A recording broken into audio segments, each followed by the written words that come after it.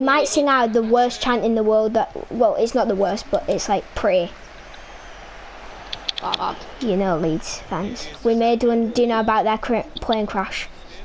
Oh, yeah. We made, that's what it's about.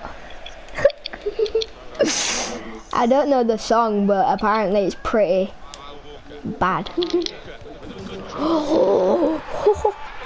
Oh, that's a nice one. You're not flipping it.